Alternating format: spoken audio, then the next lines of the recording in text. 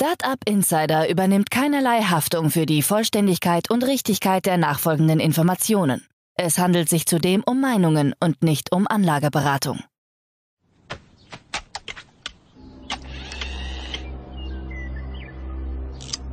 To infinity and beyond!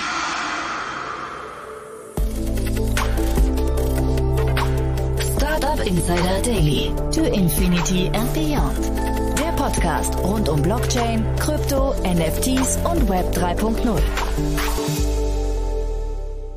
Hallo und herzlich willkommen zurück zu Startup Insider Daily um 16 Uhr, die Nachmittagsausgabe. Wir kommen wieder zurück mit unserer Rubrik To Infinity and Beyond, das Format, in dem wir mit wechselnden Gästen jede Woche die neuesten Entwicklungen in den Bereichen Krypto, NFTs und Web 3.0 beleuchten.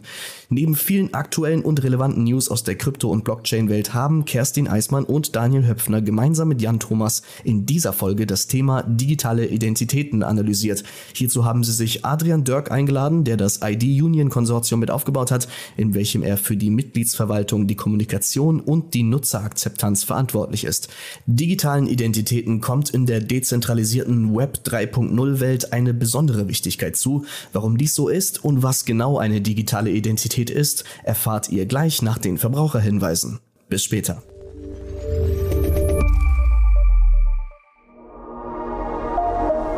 Werbung. Diese Folge wird präsentiert von Moss, der Plattform für Unternehmensausgaben. Neues Jahr, neuer Jahresabschluss. Und wieder beginnt die Suche nach fehlenden Belegen. Geht es euch auch so? Mit Moss macht ihr es in diesem Jahr von Anfang an richtig. Alle Mitarbeiter bezahlen notwendige Ausgaben mit Firmenkreditkarten von Moss und laden Belege einfach per Foto oder E-Mail hoch. Schon ist alles im System. Probiert es aus und nutzt Moss mit dem Gutscheincode INSIDER zwei Monate kostenlos. Mehr Infos auf getmoss.com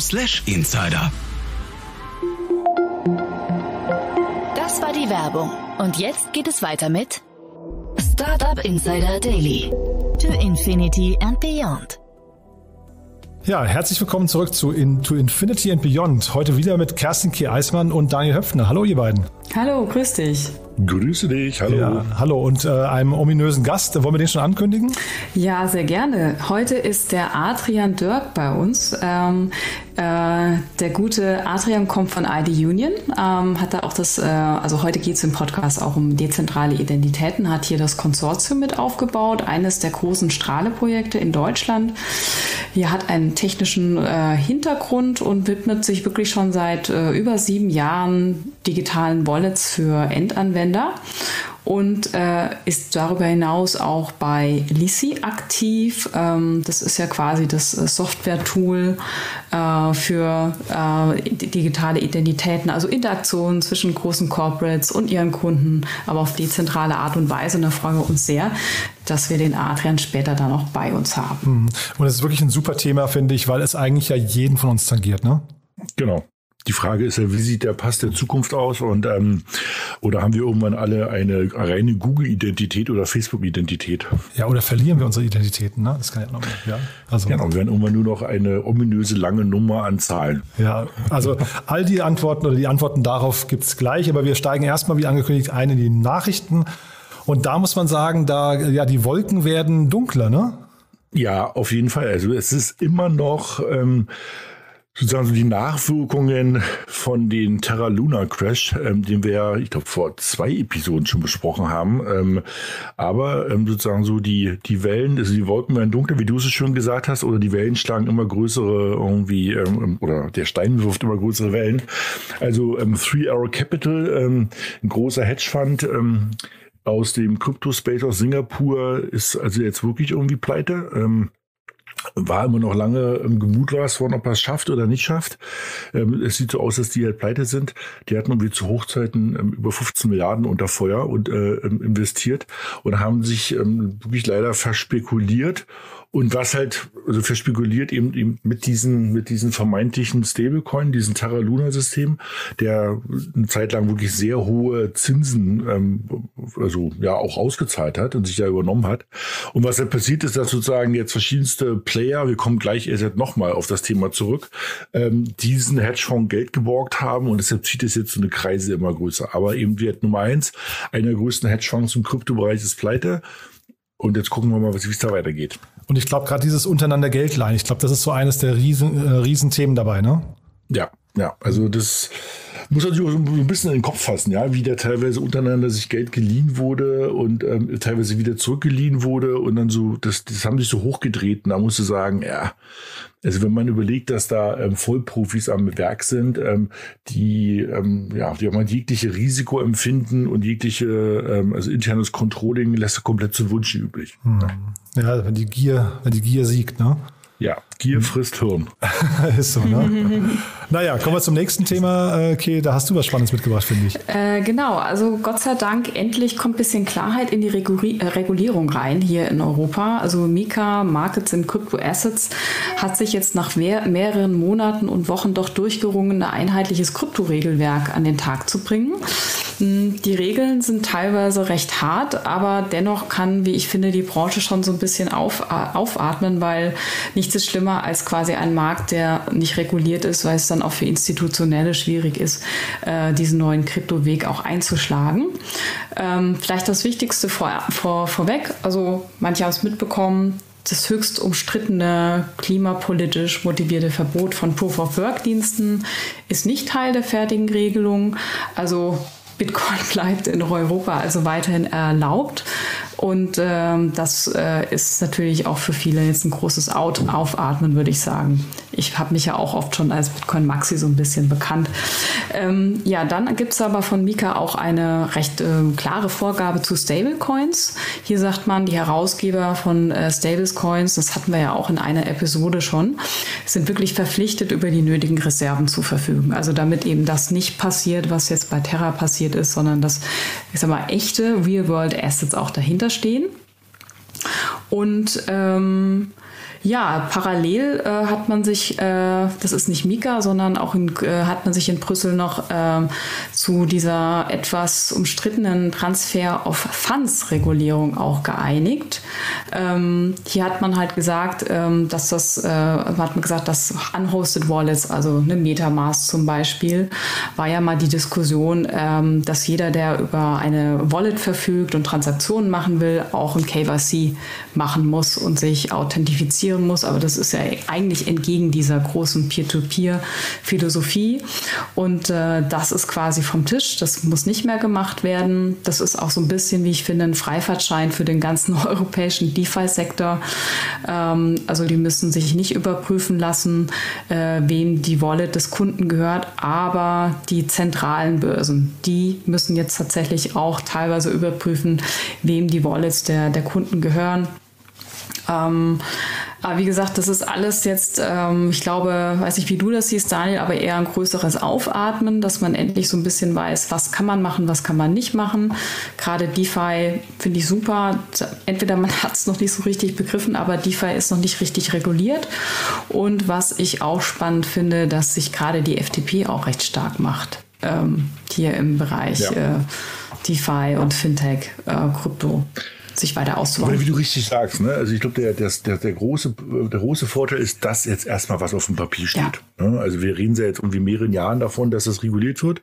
Und da gingen ja die Fantasien von ähm, komplett eng und äh, die, was du gesagt hast, ne? dieser Verbot von Proof of Work, was bedeuten würde, ein Verbot von Bitcoin, von dieser einzelnen Währung.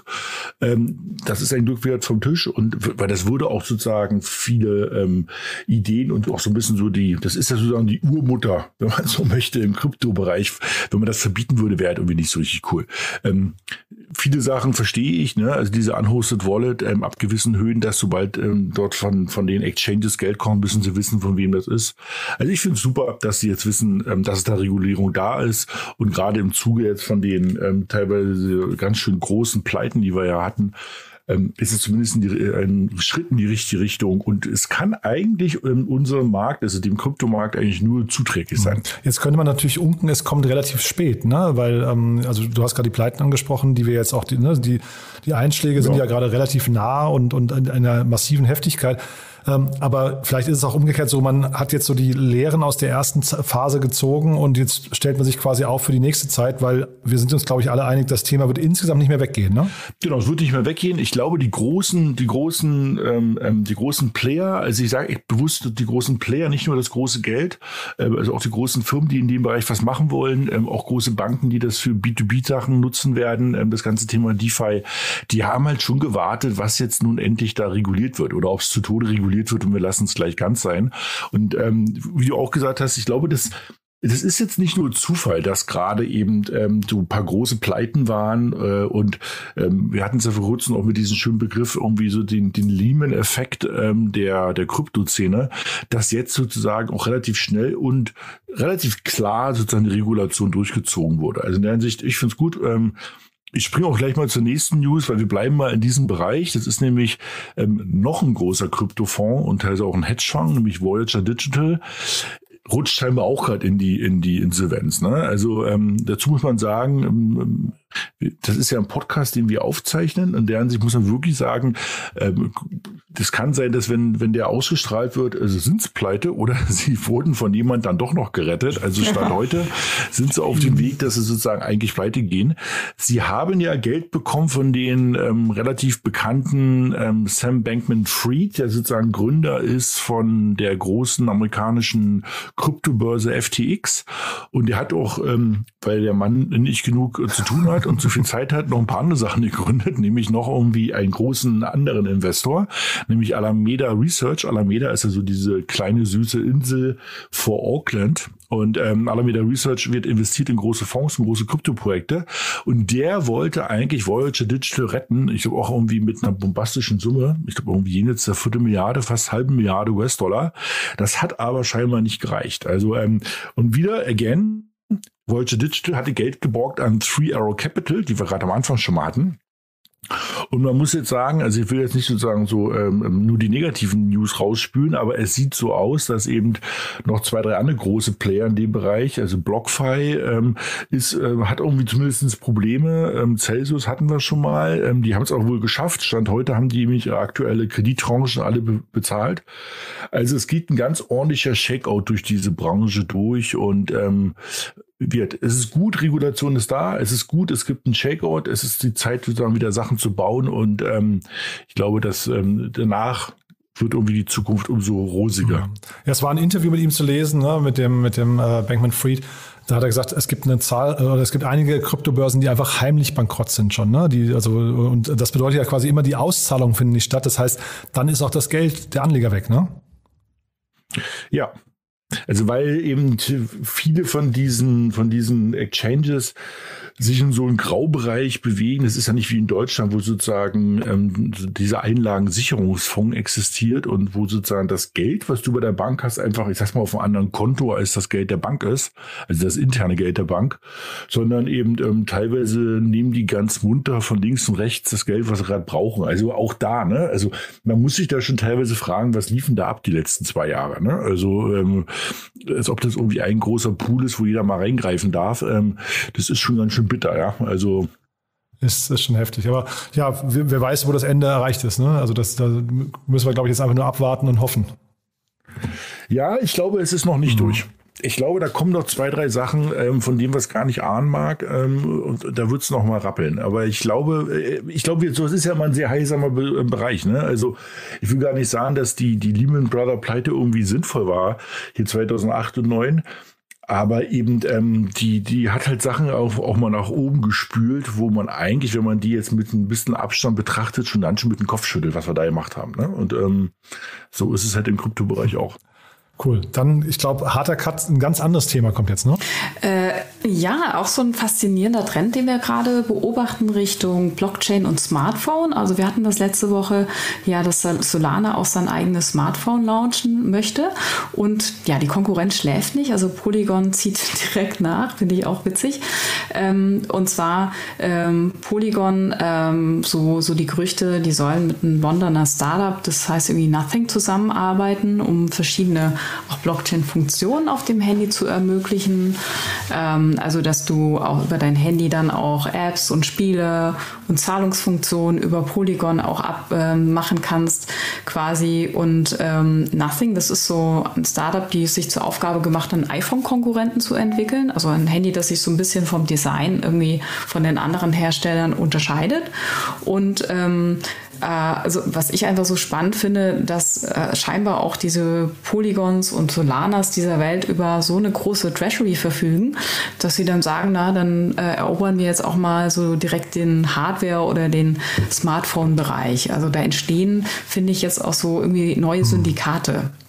Ähm, ich finde das Nothing Phone, muss ich sagen, sieht total cool aus. Äh, ich hatte da mit Jenny Dreier von EcoT Ventures mal drüber gesprochen, weil die da investiert sind.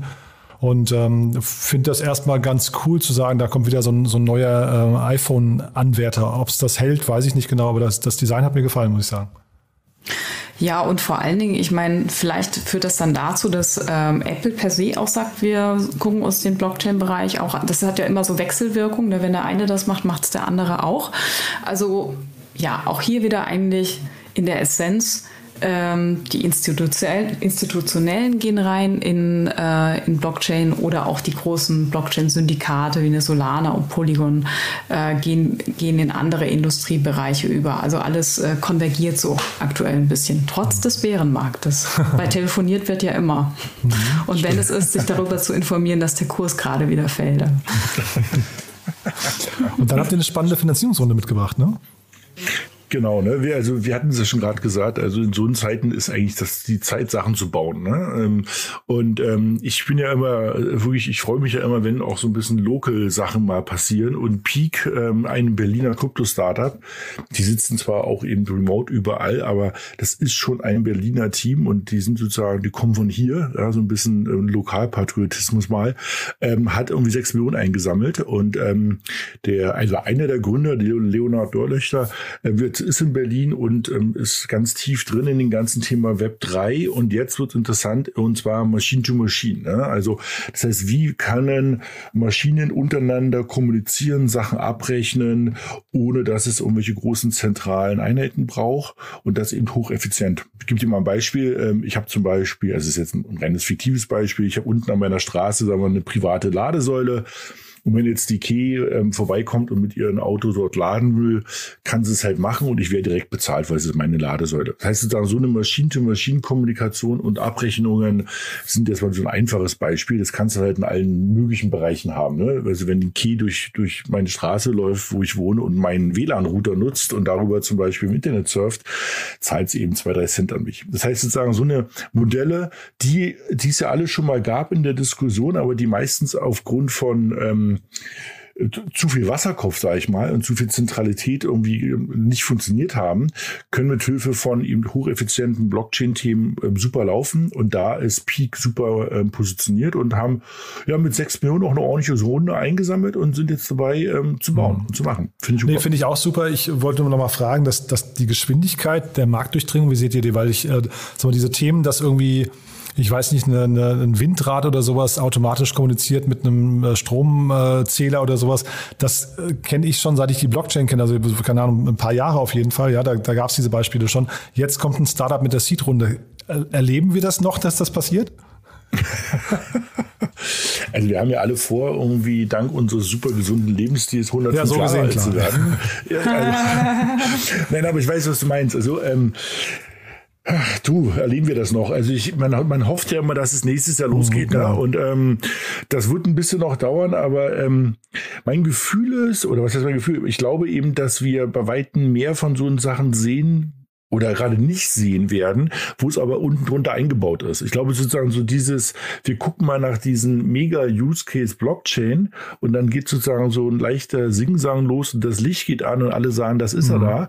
Ähm, das wird nicht geschehen, sondern das wird halt einfach unten drunter im Maschinenraum eingebaut werden und viele Menschen werden gar nicht mitbekommen, dass sie so eine Technologie nutzen. Und ich glaube, dann ist es halt interessant. Ne? So ein bisschen wie bei dem Thema Cloud. Ich vergleiche es ja gerne damit bei vielen äh, Projekten, da weiß der Endanwender gar nicht, dass irgendwelche Applikationen in der Cloud arbeiten und ähm, es ist einfach sozusagen normal geworden und davon gehe ich da auch aus. Und ähm, ich glaube, die nächsten anderthalb, zwei Jahre, wo wir bestimmt ähm, so, so einen kleinen bärischen Markt, also so ein bisschen gedämpfte Stimmung erleben werden, ähm, wird super Teams geben, die Sachen bauen. Und ich glaube, ähm, das wird danach ähm, wird auf einer viel breiteren Basis rauskommen. Wenn Vicky gerade das Beispiel mit dem Handy hatte, das ist halt ultra spannend, ja, wenn du halt sozusagen, ähm, gerade bei dem Thema, was wir jetzt gleich haben, sozusagen digitale Identität, das halt eingebaut ist äh, in, in, in sozusagen in das Mobiltelefon. Total. Und ähm, ich hatte bei Peak eben nur den Gedanken, NFTs kannten wir ja vor einigen Jahren auch noch nicht. Ne? Das ging jetzt relativ schnell, deswegen wollte ich hier nur nochmal nachhaken, ob das sich schnell durchsetzen kann oder ob es vielleicht viel komplizierter ist auch als NFTs zum Beispiel. Wahrscheinlich schon, ne?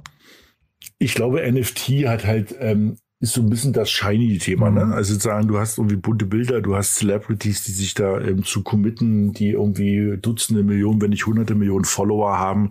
Und wenn die jetzt sagen, ich stehe hier auf einem bunten Affen, sagen alle, oh wow. Ähm, Ach, wobei ich meinte auch diese ganzen Use Cases, die wir letztes Mal besprochen haben, Daniel, die haben mich schon sehr so. fasziniert, muss ich sagen. Ne?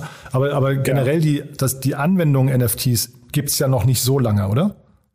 Nee, ja. das ist auch, naja, auf der anderen Seite du, ich glaube, das erste NFT, meine Key korrigiere mich, ich glaube, das ist auch fünf, sechs Jahre ja. alt, ja. Die ersten vier Jahre ist da überhaupt nichts passiert und alle haben nur gesagt, hm, was machen wir jetzt damit? Mhm.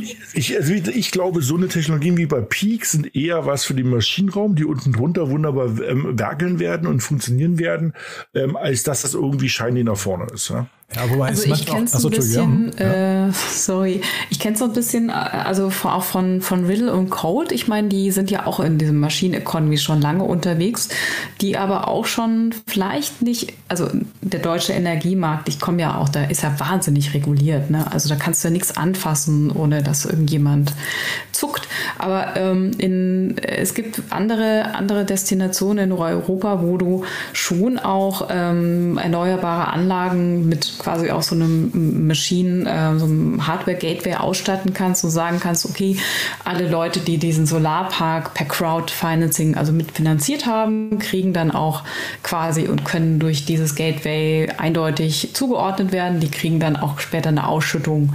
Also so, sowas gibt es schon teilweise. Ich glaube, Wien Energy ist da schon ganz, ganz aktiv dabei.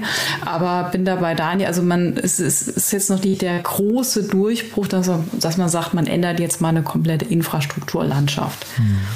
Manchmal ist es vielleicht auch eine Branding-Frage. Ne? NFTs war ein Begriff, der, der quasi so ein Gattungsbegriff, ne, den sich dann jeder merken konnte. Vielleicht muss man hier auch, vielleicht ist es sogar die Chance von Peak. Ne? Hey, hast du schon einen Peak? Mhm. Ja, habe ich noch nicht. Ne? Also, ne, dass du halt wirklich mhm. so mit, mhm. mit, einem Marken, mit einem Gattungsbegriff um die Ecke kommst. Ne? Naja. Ja. Äh, ihr habt noch ein letztes Thema dabei, bevor wir unseren Gast äh, einladen. Ne? Ja, genau. Ganz, also im Sinne der Konsolidierung, Shopping Time. Wir hatten es jetzt mit FTX und jetzt der Nexo.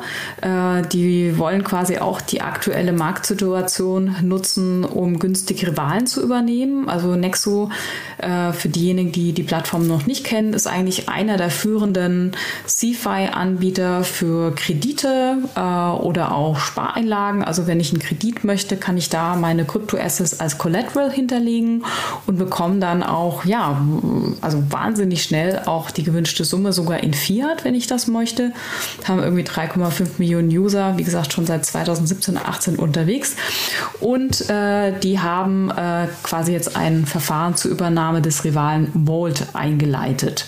Ähm, das ist auch einer dieser Unternehmen, die gerade so ein bisschen äh, strugglen. Die haben in Hochzeiten fast eine Milliarde auch äh, verwaltet und äh, aber haben jetzt seit kurzer Zeit, ich glaube seit Montag auch alle Abhebungen, den Handel schon eingestellt und jetzt kann man mal gucken, ob äh, Nexo äh, quasi auch einen Rivalen einkaufen kann.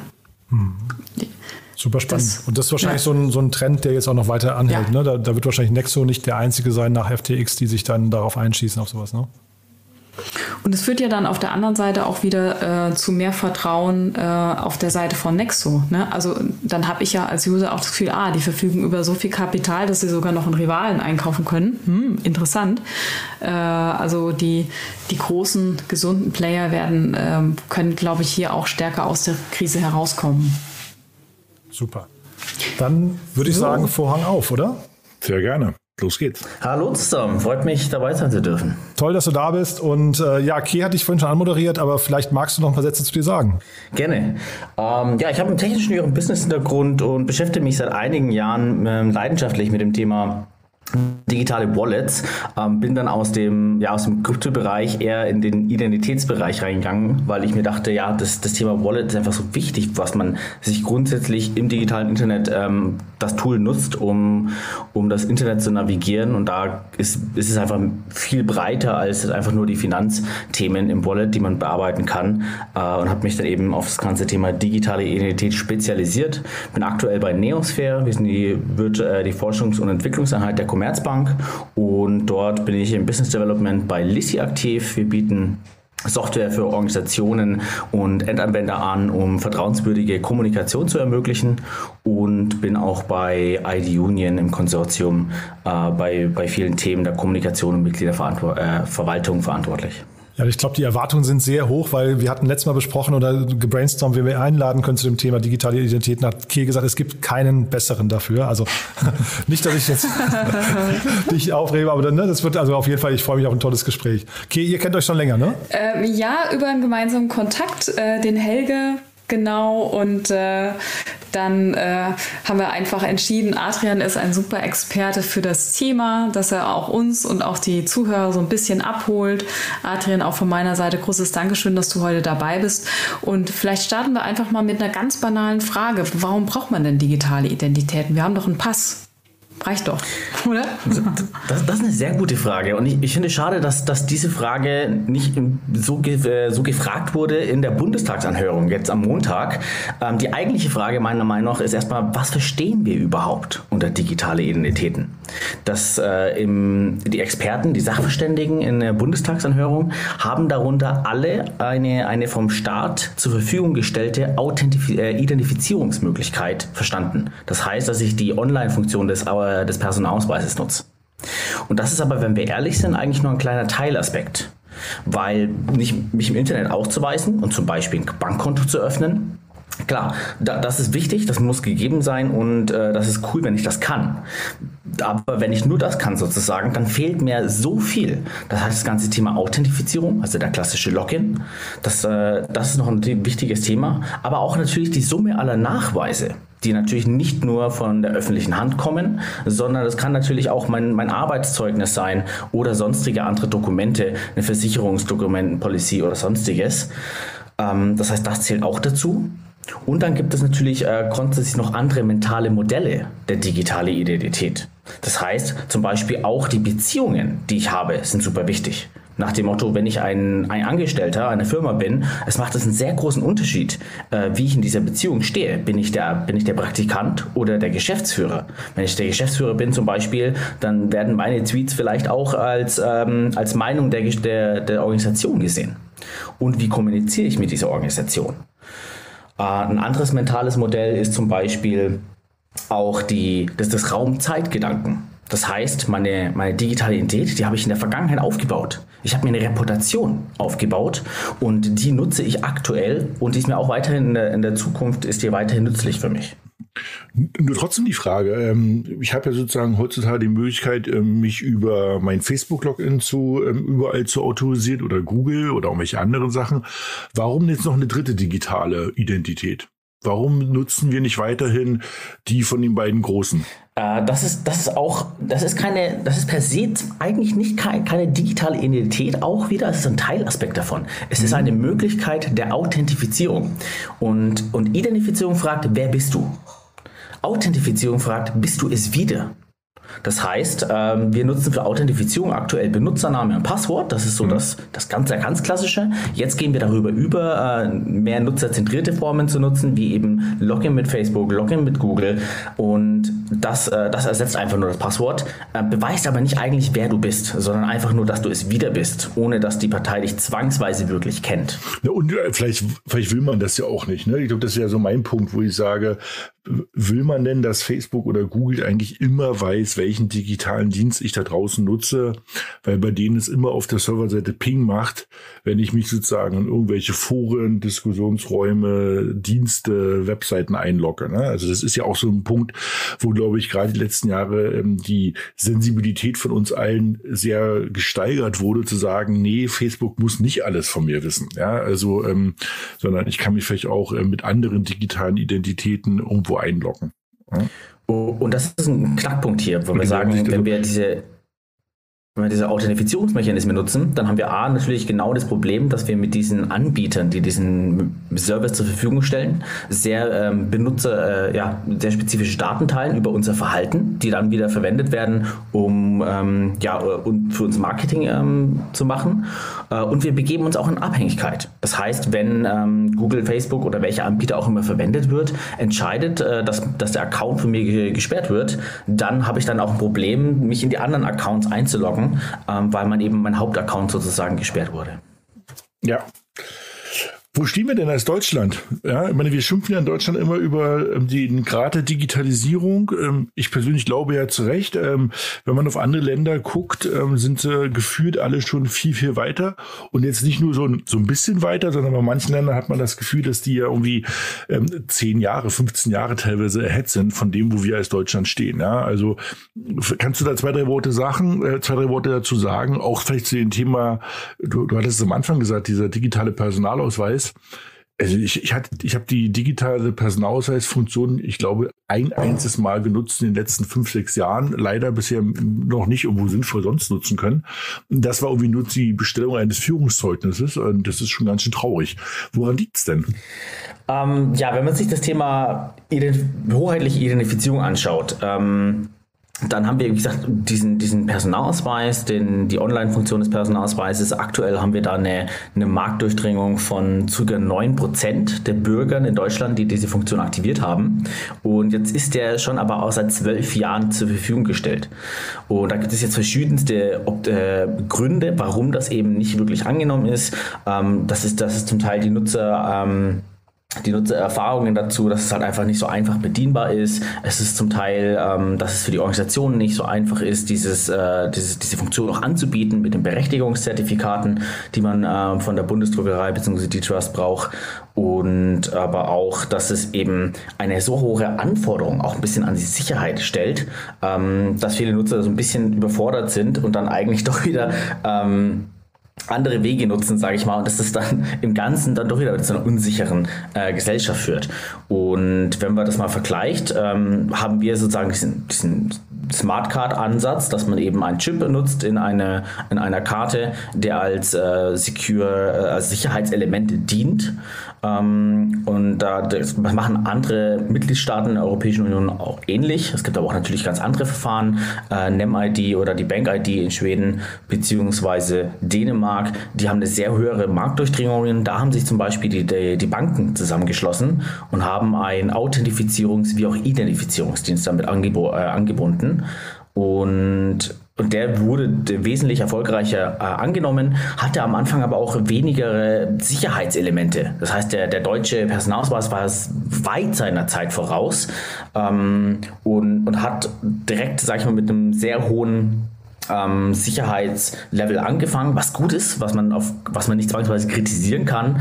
Ähm, und jetzt muss man hier und da natürlich noch die, die Stellschrauben stellen, ähm, das Angebot erweitern, äh, es leichter nutzbar machen und so weiter. Äh, und, und dafür plädieren wir auch, dass man weiterhin diesen Personalausweis nutzt und dass wir den verbessern.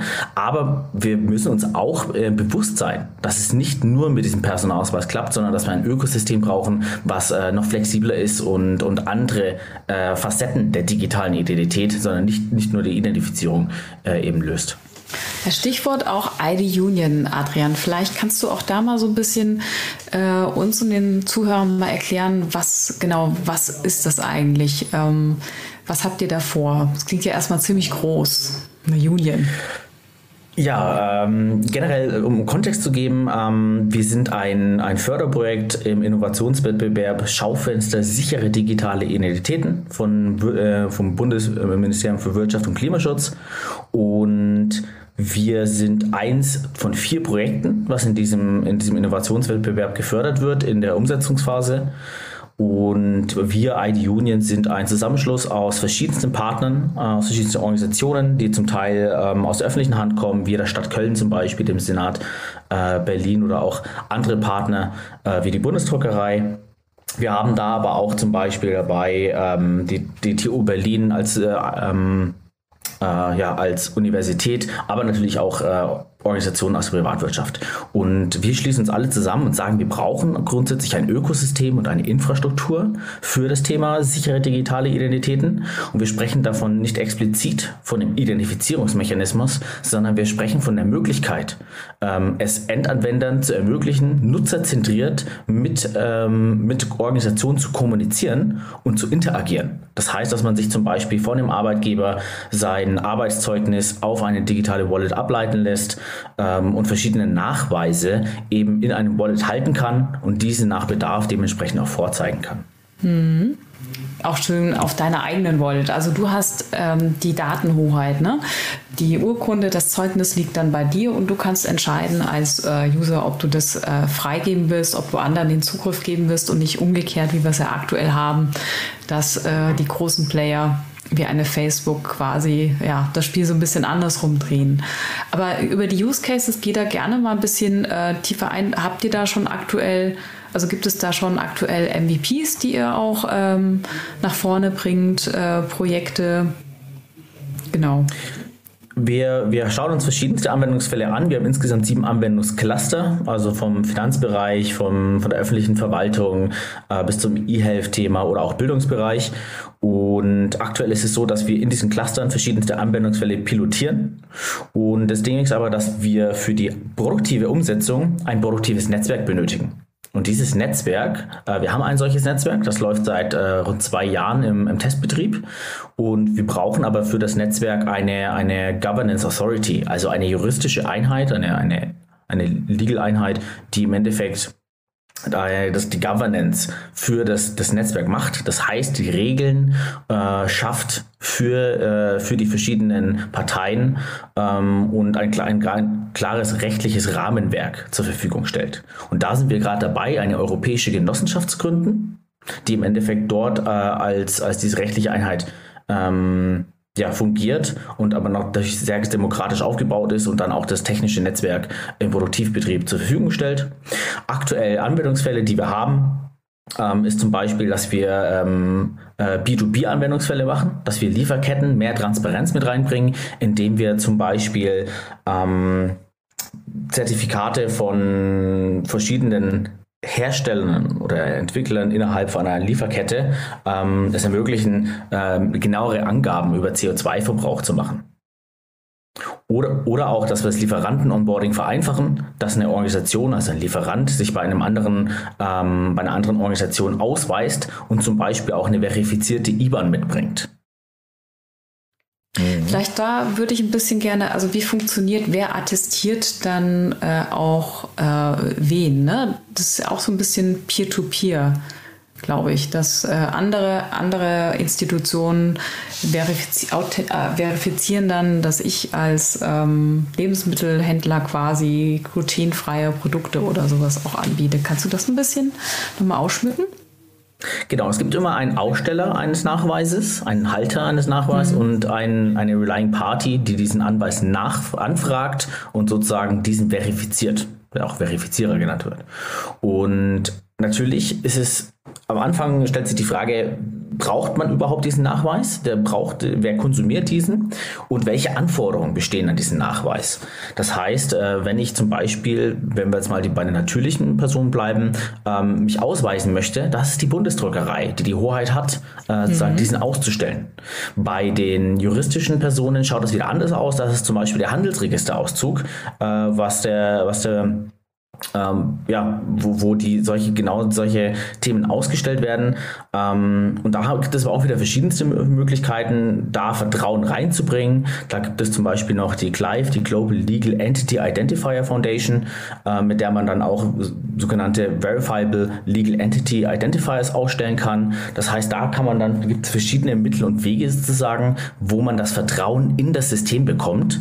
Und das ist aber genau ähm, ein Knackpunkt, wofür wir mit verschiedensten Organisationen zusammenarbeiten, um genau dieses Vertrauen in das Ökosystem mit reinzuspielen, ähm, weil das wirklich natürlich einer der Knackpunkte ist. Ohne Vertrauen äh, bringt jeder Nachweis nichts, der signiert ist, äh, weil man ja nicht weiß nach dem Motto, ob, wie vertrauenswürdig das ist. Mhm. Und, in dem Recht, dann, äh, ja. in, dem Rahmen ist auch die EI das natürlich super wichtig. Die wird gerade überarbeitet. Das ist die Regulierung für, Elektron, äh, für die elektronische Identifizierung für natürliche, aber auch juristische Personen in der Europäischen Union. Und äh, die wird gerade überarbeitet und da ist es natürlich sehr, sehr spannend, worauf die Mitgliedstaaten sich einigen, ähm, welche Protokolle verwendet werden, welche Schnittstellen, wie Nachweisformate ausgeschaut werden äh, ähm, oder definiert werden. Und ähm, ja, wie, wie die aktuell genutzten Verfahren in den verschiedenen Mitgliedsländern, die sich stark unterscheiden, auch äh, zu ein Stück zusammengebracht werden können. Du hattest vorhin, wenn ich mal fragen darf, äh, von dem Thema Reputation auch gesprochen. Das fand ich sehr spannend. Vielleicht kannst du das noch mal ein bisschen ausführen, denn äh, damit verbunden die Frage, ist das dann eine einmalige Betrachtung? Du hattest, glaube ich, vorhin sinngemäß gesagt, man hat sich über Jahre hinweg eine Reputation aufgebaut, von der man dann aktuell zehrt. Aber die kann sich ja auch, äh, gibt es ja zahlreiche Beispiele, wo sich sowas sehr schnell drehen kann. Wie schnell kann das, das im digitalen Raum äh, abgebildet werden? Naja, ich denke, wenn wir aktuell über, über Reputation sprechen, dann, dann ist diese hauptsächlich auf den Plattformen, ähm, die wir verwenden auf denen wir viele ähm, ja, Follower haben. Das ist jetzt Twitter, äh, Facebook, YouTube und so weiter. Ähm, also die persönliche die Reputation meinst du jetzt? Ja, ja, also weil ich hätte jetzt gedacht, weißt du, sowas wie eine Kreditref äh, Kreditreform heißt sie, glaube ich, ne? Äh, ist ja im Prinzip auch eine Art, ne, wenn ich als Unternehmen, ähm, keine Ahnung, bestimmte Zahlungsmoral habe, ist ja auch eine Art Reputation. Das ist die Bonität, genau, das ist auch das ist die Zahlungsreputation. Ja. Mhm. Äh, und ich denke, so muss man aber natürlich ganz klar so ein bisschen unterscheiden, was, was, für, eine, was für eine Reputation spricht man jetzt. Äh, genau, sind wir im, im Finanzsektor, wo es die Bonität ist, die dann irgendwie über die Schufa oder die Kreditreform für Unternehmen ähm, zertifiziert wird oder verifiziert wird. Und oder gibt es um, um, um grundsätzliche gesellschaftliche Reputation, wo man dann eben äh, ähm, ja, sich mit einem Pseudonym oder einem Klarnamen äh, einen bestimmten ja, Kanal aufgebaut hat, der so, so viele Voll, äh, Follower hat ähm, und die man dann vielleicht auch umziehen kann. Das wäre natürlich schön. Ähm, da sind wir aber noch nicht so weit, dass wirklich sowas äh, irgendwie möglich ist. Das wird noch interessant, was, was da für Lösungen kommen. Nun reden wir ja in unserem Podcast viel über das ganze Thema Blockchain und Krypto. Ähm, wo hilft denn jetzt das Thema Blockchain bei den Problemen, die wir sozusagen bei dem, also bei diesem Thema Autorisierung, äh, Identität und so weiter ähm, ähm, haben? Also wo hilft es, dass wir sozusagen jetzt schneller werden? Oder ist das jetzt ähm, eigentlich nur nice to have wir brauchen es gar nicht? Ähm, das ganze Thema Blockchain wird häufig sehr stark überbewertet, wenn wir ehrlich sind. Ähm, gr grundsätzlich. Du bist ja hier im falschen Podcast. Ja. Aber beim nee, Thema Digitalität, ja. Ja. beim Thema Digitalität ist, ist, es in meiner Meinung nach viel, viel wichtiger oder allgemein bei, bei vielen Blockchain-Netzwerken ist das der Peer-to-Peer-Aspekt, dass man sich Ende zu Ende direkt austauschen kann und die Daten trotzdem verifizieren kann. Dieser Aspekt ist so viel wichtiger als am Ende die Blockchain. Bei Ethereum mag das vielleicht in dem Fall anders sein, weil die, die EVM und was nicht alles sehr viel, sehr viel Probleme löst und, und viel ähm, ja, viele Aufgaben übernehmen. Bei uns ist das aber bewusst nicht der Fall. Das heißt, wir versuchen die Funktionen, die wir mit, einer, mit diesem verteilten dezentralen Netzwerk abbilden, ähm, da möglichst klein zu halten. Das heißt, wir nutzen das primär als dezentrale Public Key Infrastruktur. Aber ich meine, ähm, ist nicht die Idee halt, dass man ähm, irgendwann soweit ist, dass man bestimmte Autorisierungen ähm, von einer Stelle bekommt, die mich vorher schon autorisiert hat. Ne? Also sozusagen, äh, vielleicht muss man mal ganz kurz irgendwie unterscheiden zwischen identifizieren, authentifizieren und autorisieren. Ähm, ähm, also ich habe da immer so ein nettes Beispiel dazu. Also ich gehe in die Bar und dann irgendwie zeige ich beim ersten Mal, weil ich halt irgendwie noch so jung aussehe mit meinem Personalausweis. Das ist dann die Identifikation, dass ich sozusagen, äh, wenn ich das nächste Mal reinkomme und die Barfrau oder der Barherr mich erkennt, dann ist es die Authentifizierung, weil sie sehen, ich bin sozusagen wieder da. Das ist das Login-Beispiel. Und Autorisierung ist, wenn sie dann sagen, alles klar, ich habe bestimmte Rechte, das heißt, ich darf ein Bier trinken, weil ich über 18 bin. Und nun ist ja, wäre es ja nun interessant zu sagen, kann ich denn diese Autorisierung in die nächste Bar mitnehmen, ohne dass ich dort wieder anfange, Personalausweis zu zeigen? Weißt du, was ich meine? Das ist doch der interessante Punkt. Also, wo ich sozusagen meine, meinen Personalausweis oder du hattest vorhin das schöne Beispiel mit den, Han äh, mit den Handelsregister-Auszug äh, für die Firmen ich mich nicht immer wieder neu ähm, identifizieren und autorisieren lassen muss bei irgendwelchen Diensten, sondern wo ich sozusagen irgendwie so, eine, so ein Zertifikat mitnehmen kann und eben ähm, beweise, dass ich eine Firma bin. Ist das nicht irgendwie auch so ein Ziel ähm, von so ähm, von den neuen digitalen Identitäten und den dezentralen Identitäten oder ist das zu weit gegriffen? Äh, das, das kann man auf jeden Fall mit dazu nehmen. Äh, ich denke, man muss da ein bisschen auch differenziert das Ganze betrachten. Auch die Autorisierung liegt ja immer in, in, in der Hand der Organisation oder der Partei, die im Endeffekt ähm, genau dieses Recht vergibt oder den Zugriff auf etwas ergibt. Und, genau. mhm. und wir können es dann eben den, den Zugriff auch darauf machen, dezentral abbilden, indem wir es zum Beispiel ein Zertifikat ausstellen, Nachweis, ähm, dass man über bestimmte Attribute verfügt, dass man zum Beispiel eine, eine, ähm, ein bestimmtes Trust-Niveau hat, dass man bestimmte Eigenschaften hat, die eben Zugang gewähren. Das kann zum Beispiel sagen, ich bin Student und deswegen, weil ich Student bin, habe ich dann Zugriff auf die Bibliothek, habe Zugriff auf, auf verschiedene äh, Kursanmeldungen und so weiter, ähm, ohne dass jetzt aber, sag ich mal, immer abgefragt werden muss bei der, bei der zentralen Universität, ist der wirklich Student, sondern das kann sozusagen die, die überprüfende Partei äh, kann in der dezentralen Infrastruktur nachschauen, kann überprüfen, okay, passt, ich sehe, dass dieses, äh, dieser Nachweis verifizierbar ist und muss nicht extra bei der Universität nachfragen oder bei wem auch immer, das, äh, wer auch immer das, äh, den Nachweis ausgegeben hat und kann somit eine Autorisierung auf, äh, auf bestimmte Ressourcen oder Informationen äh, geben. Ähm, und da ist schon ein, einer der Knackpunkte, warum wir sagen, dass eine verteilte Daten, äh, Datenhaltung und Struktur da sehr von Vorteil ist, weil wir eben genau vermeiden möchten, dass eine verifizierende Partei immer zur ausstellenden Partei Kontakt aufnehmen muss, um eine Information zu überprüfen. Das ist ganz wichtig. Hm. Wann ist denn aus deiner Sicht eine digitale Identität, vor allem jetzt im privaten Bereich, vollständig? Was sind denn so die Kernbestandteile, die zu einer hundertprozentigen Abdeckung dazugehören? Ich denke, das ist, das ist äh, eine, eine Frage, die, die immer weiter wächst. Ich denke, äh, selbst wenn wir jetzt uns heute uns überlegen, was gehört denn da alles dazu und eine Liste machen würden, dann würde in einem Jahr wäre wär die vielleicht nur wieder 70 Prozent vollständig. Es kommen immer noch so viele neue Themen dazu. Echt, ja? Ähm, dass, dass, dass äh, das einfach schwierig zu beurteilen ist. Zum Beispiel nehmen wir mal das Beispiel E-Mail. Aktuell sind wir super stark abhängig von der E-Mail und wir benutzen sie äh, äh für die also für die Autorisierung, äh, Authentifizierung ähm, bei bestimmten Diensten als Benutzername zum Beispiel, um uns dort anzumelden. Wir nutzen sie bei Newslettern, um, um kontaktiert zu werden. Und und E-Mail ist so gut wie das Tool ist, so schlecht ist es aber auch zum Beispiel, wenn es darum geht, Korrelation zu verhindern. Das heißt, ich möchte ja nicht irgendwie meine E-Mail, die ich jetzt irgendwie auch äh, für die private Kommunikation nutze, bei jedem Newsletter rausgeben oder irgendwie bei jeder Seite angeben, der ich vielleicht noch gar nicht vertraue und gar nicht weiß, wie die meine E-Mail weitergeben. Und auf einmal kriege ich dann wieder Spam rein und was nicht alles. Ähm, das heißt, was wir zum Beispiel versuchen, ist, äh, dass man, dass man sagt, man hat einen dezentralen Identifikator. Nochmal kurz vielleicht zurück. Äh, ein Identifikator ist ein Mittel, ähm, mit dem man eine, eine, ein Objekt eindeutig identifizieren kann, einen bestimmten ähm, Adressraum. Äh, klassisch ist die E-Mail, die Telefonnummer, äh, eine Versicherungsnummer. Das sind alles Identifikatoren. Die liegen aber nicht in der Hoheit sozusagen des Nutzers, sondern sind immer von einer Autorität ausgestellt. Das kann der E-Mail-Provider sein, der Versicherungsprovider oder sonst wer. Wir möchten dezentrale Identifikatoren einführen, dass wir sagen, wir ähm, schaffen die Möglichkeit, dass du diese die Identifikatoren selber erzeugst. Die sind einmalig und nur für einen bestimmten Kontakt äh, vorgesehen. Das heißt, ich, ich gehe nur einen neuen Kontakt ein. Ähm, das ist, kann zum Beispiel jetzt ein Newsletter sein. Kreiere für diesen Kontakt einen, einen, einen Identifikator, gebe diesen an den Newsletter-Provider und ähm, kann darüber dann kommunizieren und muss mir nicht Gedanken machen, dass, äh, meine, dass ich irgendwie korrelierbar bin, dass ich identifizierbar bin oder dass äh, diese Daten weiterhin geteilt werden an andere und ich dann irgendwie das Spam bekomme, den ich eigentlich nicht will weil ich kann den, den Identifikator einfach äh, löschen und dann kann ich halt nicht mehr darüber kontaktiert werden. Das heißt, da, da bilden sich immer neue Möglichkeiten, wie wir uns im Internet, äh, was das ganze Thema Identität, wo auch eben Kommunikation dazugehört, äh, weiterentwickeln. Und somit ähm, ist es äh, ja nicht möglich zu wissen, was wirklich in den nächsten Jahren kommt ähm, und, und zu wissen, was wirklich äh, 100% sind und was am Ende alles dazugehört, weil die Liste einfach unglaublich lang ist. Hm.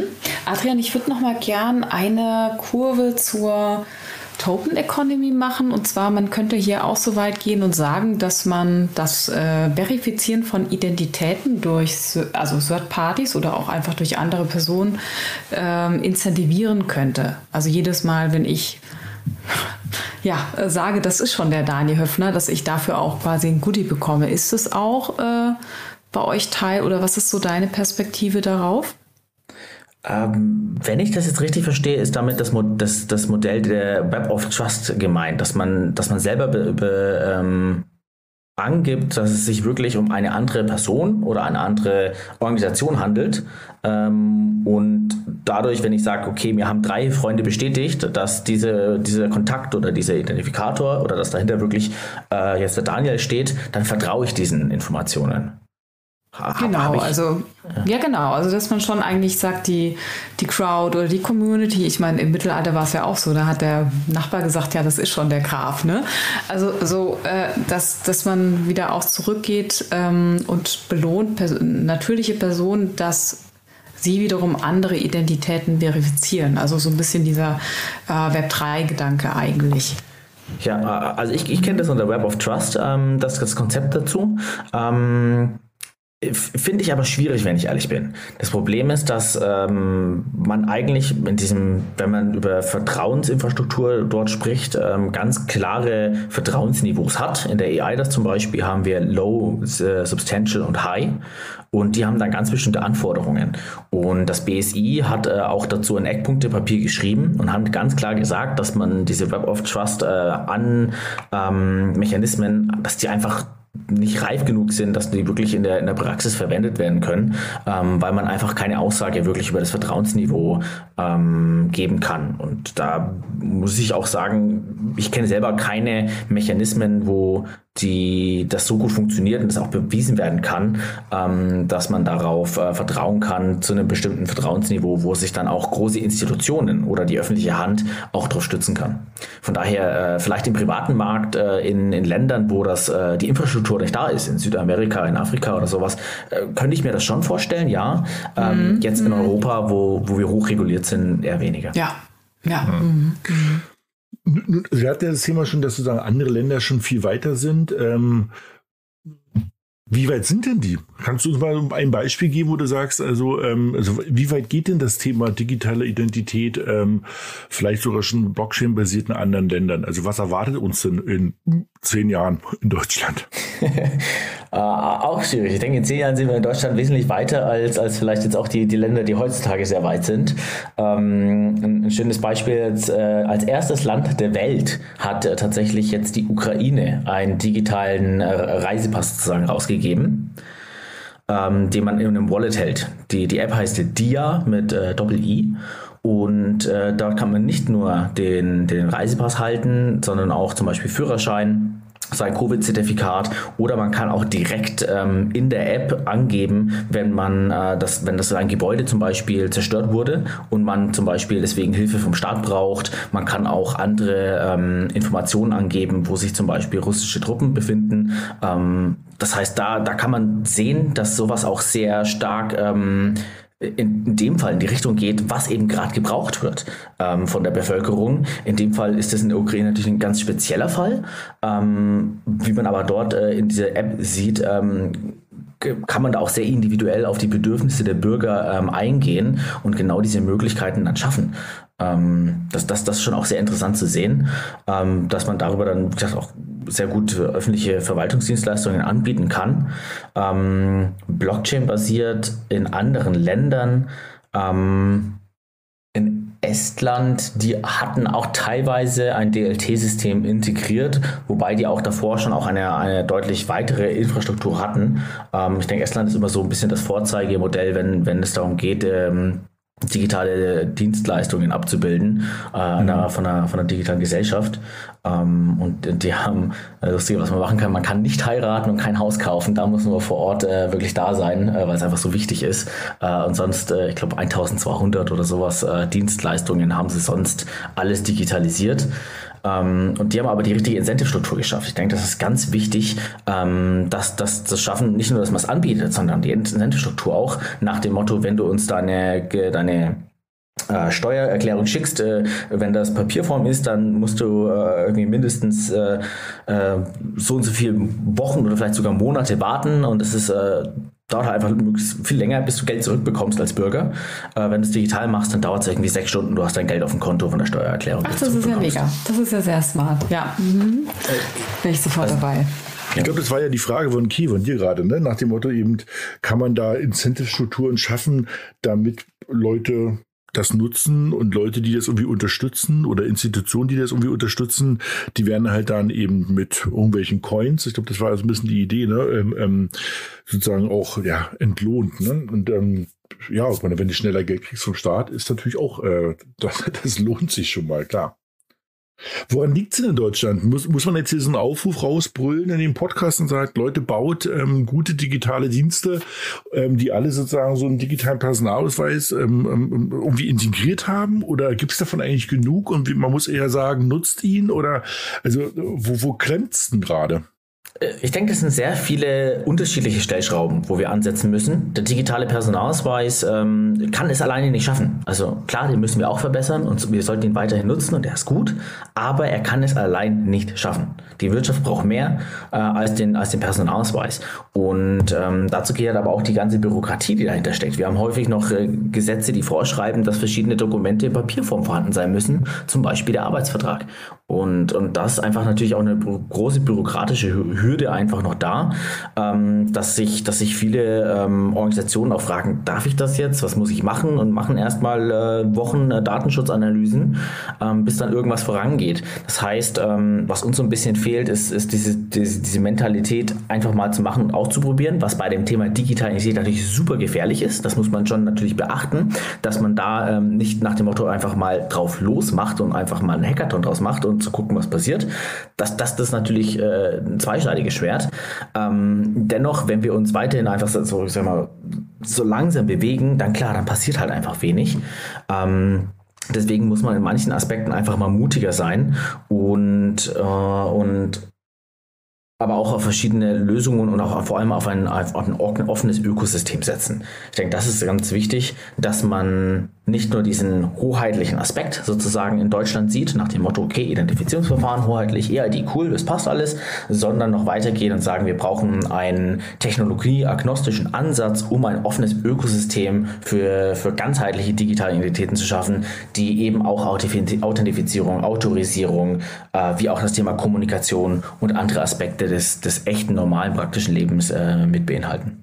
Super. Ja, das ist ein ich super mal, Schlusswort. Wollte ich gerade sagen, mit Blick auf die Uhr würde ich auch sagen, das ist das perfekte Schlusswort. Ähm, ich fand es ein mega cooles Gespräch, muss ich sagen. Bin sehr gespannt, wo die Reise hingeht. Ich habe mich jetzt ein bisschen gewundert über die scheinbar nicht ganz so relevante ähm, äh, was ich, äh, Rolle, die die Blockchain da zu spielen hat, aber bin mal gespannt, wo da die Reise hingeht. Ich würde sagen, wir bleiben in Kontakt, Adrian. Vielen Dank, dass du da warst. Gerne, gerne. Hat mich gefreut. Hat Danke dir. großen Spaß gemacht. Danke dir. Tschüss. Super. Tschüss. Tschüss. Ja, und an euch beiden auch ganz großen Dank. Hat mir echt Spaß gemacht. Ich finde, Adrian war ein toller Gast, war ein spannendes Thema, fand ich, oder? Ja, also auf der einen Seite ist es erschreckend zu sehen, dass wir noch so weit entfernt sind. Auf der anderen Seite, er hat ein paar ganz gute Beispiele gebracht, wo er echt nochmal klar wird, wie notwendig es ist. Hm. Ja, und ich Tja. auch so in Anbetracht immer dem Thema Datenschutz, Datenhoheit, Perspektive des Kunden. Auch da müsste man ja eigentlich langsam kapieren, dass genau das ist ja das Thema von dezentralen Identitäten. Ne? Ich, ich, das ist ja was Gutes für den Endkunden. Ich glaube, ähm, da da muss man noch ein bisschen dran arbeiten, dass, je, dass das jeder am Ende des Tages auch versteht. Mhm. Ich fand es auch super. Cool. Und apropos alles verstehen, das ist ja unsere Aufgabe hier. Ich weiß gar nicht, haben wir über das Thema vom nächsten Mal schon gesprochen, was wir da erklären möchten oder verständlich machen möchten? Ich glaube, haben wir noch nicht. Ähm, also, ich glaube, wir haben aktuell auch noch gar kein neues Thema, weil gerade so viel passiert ist irgendwie in letzter Zeit. Ähm, wir hatten ja sehr aktuell immer so das Terra Luna Thema und so. Mhm. Ähm, Dann würde ich sagen, wir lassen es auf uns zukommen und überraschen einfach unsere Hörer. Und so machen wir das. Ja? Genau. Super. Schön. Tschüss. Vielen Dank euch. Auf bald, ja? Ja. Tschüss, tschüss ihr zwei. Ciao. Startup Insider Daily to Infinity and Beyond. Der Expertendialog mit Daniel Höpfner und Kerstin Eismann rund ums Thema Krypto, Blockchain und Web 3.0. Das waren Kerstin Eismann, Daniel Höpfner, Jan Thomas und unser Gast Adrian Dirk in To Infinity and Beyond zum heutigen Thema digitale Identitäten. Startup Insider Daily verabschiedet sich für den heutigen Tag. Am Mikro war heute wieder für euch Levent Kellele. Ich sage vielen, vielen Dank fürs Zuhören und freue mich, wenn wir uns morgen früh wiederhören. Macht's gut und auf Wiedersehen.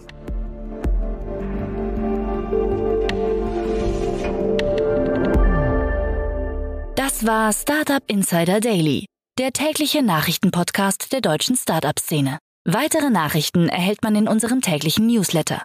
Jetzt kostenlos abonnieren auf www.startupinsider.